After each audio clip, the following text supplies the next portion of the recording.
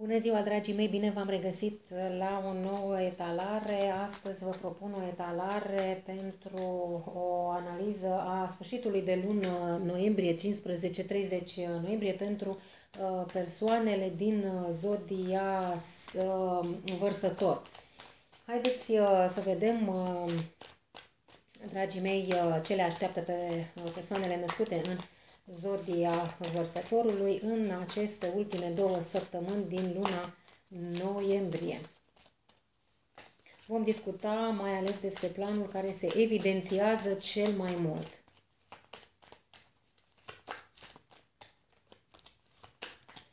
Există în situația dumneavoastră, dragii mei vărsători, o stagnare pe toate planurile, de aceea tot ceea ce v-ați propus, proiecte, iubiri, planuri, uh, s-ar putea să continue realizarea acestora după luna uh, noiembrie. Da? Poate că până la jumătatea lunii decembrie uh, se vor pune în mișcare tot, ceea, la, tot situația la care vă gândiți dumneavoastră. Da? În orice caz, există niște decizii pe care le-ați luat și de care acum vă pare rău, dar și la dumneavoastră, ca și la zodiile Uh, precedente să știți că există acest nou început cu o persoană la care vă gândiți din zodia Capricorn, Taur, uh, Berbec, uh, Leu.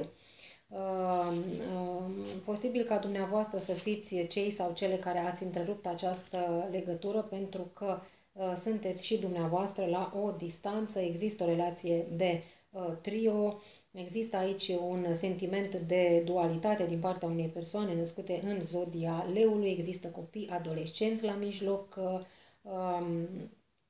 42 um, de ani, o vârstă, da, 40-40 plus, uh, persoane mature, persoane care posibil ambele să fiți implicate în alte uh, relații stabile, căsătorii sau cel puțin să aveți și alte familii.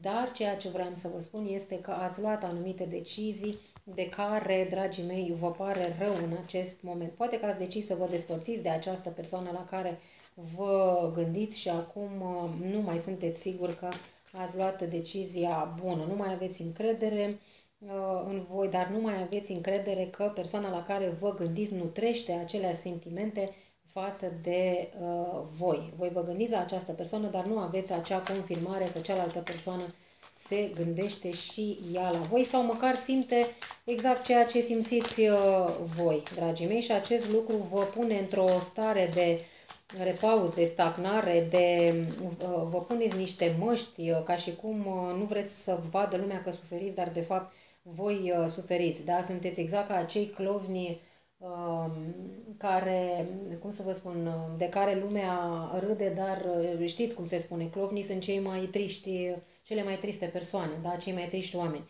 Așa și dumneavoastră, parcă uh, mergeți uh, zi de, da, în fiecare zi vă faceți numărul, cum s-ar spune, dar seara când veniți acasă și vă ștergeți masca de pe figură, sunteți voi triști și, și singuri și gânditori la cel sau cea la care uh, vă este în, uh, în suflet, da?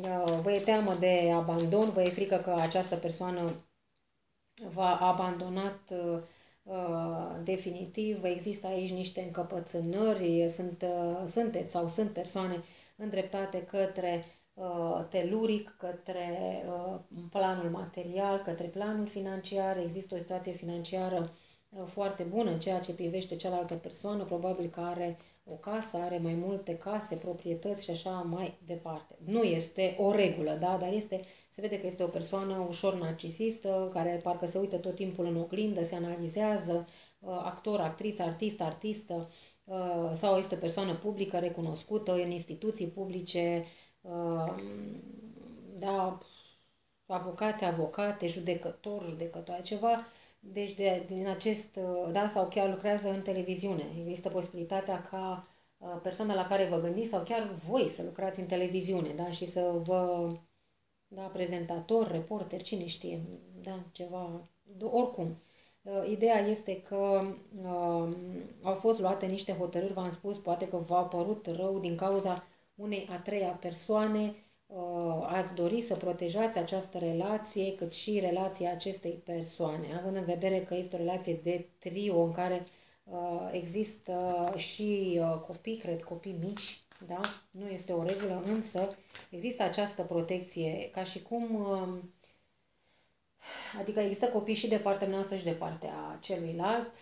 Repet, nu este o regulă, însă a contat uh, foarte mult uh, în uh, decizia pe care ați luat-o voi de a întrerupe cel puțin o perioadă această, această relație sau a vă distanța. Oricum vă văd separați și pe voi, da? Deci nu într-un cuplu, um, eu știu, cel puțin acum, poate că ați locuit, ați locuit o perioadă unul cu celălalt, da? Dar unul din voi uh, a vrut să protejeze această relație sau a ținut această relație în secret, uh, cine știe, pentru a proteja și alte persoane implicate da, în această problemă emoțională. Da? Uh, dragii mei, am vești foarte bune. Deci dacă vorbim despre finalul lunii, să știți că veți face schimb de mesaje, iar această relație va fi, uh, această legătură va fi reluată pentru că există o balanță și veți sărbători, dragii mei, această reluare a iubirii voastre. Zodia Gemeni, am spus balanță, uh, Leu, Capricorn, Taur, Berbec, nu? Cred că am spus și la începutul acestei um, etalări, dar și văd că vărsător, dar probabil ca voi, de asta spun ca voi uh, să fiți căsătoriți, căsătorite sau să aveți o familie sau dacă nu aveți uh, pe cineva, măcar aveți uh, o familie, da? Scorpion, rac, dragii mei, există această propunere, cineva vă face o propunere cu litera B, da? Sau cu litera C și gemene, am zis, da? Care vă umple sufletul de bucurie. Celebrați această împăcare, vă bucurați de această împăcare, veți primi această ofertă de la această persoană la care vă gândiți și balanța se va echilibra. Observați, cineva vă dă un cadou, iar dumneavoastră îi dați inima în schimb sau invers, depinde, da? Deci, uh, lucruri frumoase se vor întâmpla pentru voi, dragii mei vărsători, până la finalul acestei, uh, acestei luni și, din câte se pare, să știți că, practic, uh, Vedeți? Deci nu spun eu. Vedeți? Ia uitați-vă.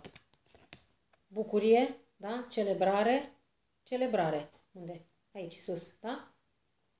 Uitați, da? Celebrare, celebrare, da? Sărbătoare, sărbătoare, da? Deci, clar, la sfârșitul lunii sărbătoriți ceva, o realizare mare, o împăcare mare, oricum aștept mesaje, să-mi spuneți, vă rog că sunt, sunt curioasă, da?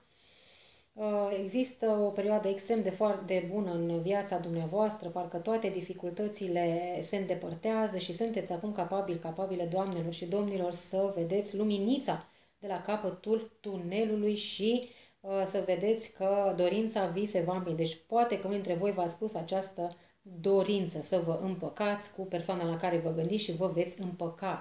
Uh, este timpul să vă faceți, uh, sau unii dintre voi vă veți face uh, planuri pe termen lung într-un viitor extrem, extrem de frumos. Da? Aveți încredere că lucrurile vor merge, dragii mei, minunat. Da? Deci, de asta vă spun, veți sărbători pe o perioadă plină de veselie, de bucurie, sunteți capabili acum mai mult ca niciodată să vă ascultați vocea interioară um, și, în, um, cum să vă zic, cărțile spun și îngerii spun să nu, vă, să nu mai supraanalizați um, lucrurile din viața dumneavoastră, da? pentru că răspunsurile pe care le căutați nu, nu constă în a vă supraanaliza uh, problema, a tăia firul în uh, șapte. Da? Uh, puteți să vă luați o vacanță dacă vă doriți sau să faceți o mică pauză pentru a vă da un refresh, așa, un new, uh, un, un start nou, da? Uh, mă scuzați, adevărat, da? Deci este adevărat, ce să mai aveți sărbătoriți. Doamne ajută!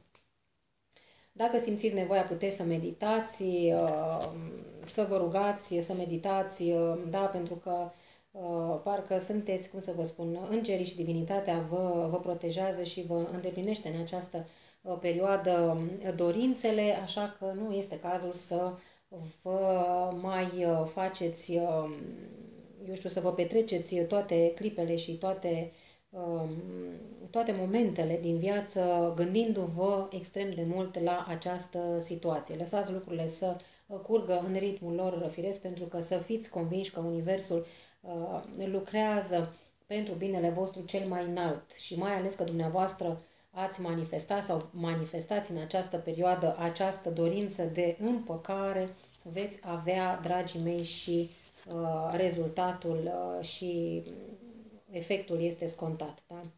Foarte frumos, foarte frumos, dragii mei. Mă bucur foarte tare pentru, pentru voi. Sper să auzim uh, lucruri frumoase, lucruri bune, încărcate de dragoste, optimism și încredere. Dragii mei, vă mulțumesc din toată inima că m-ați uh, urmărit. Vă mulțumesc pentru mesajele voastre, pentru uh, înscrieri, pentru vizualizări. Să ne revedem sănătoși, voioși, voinici, până la următoarea etalare. La revedere, vă pup!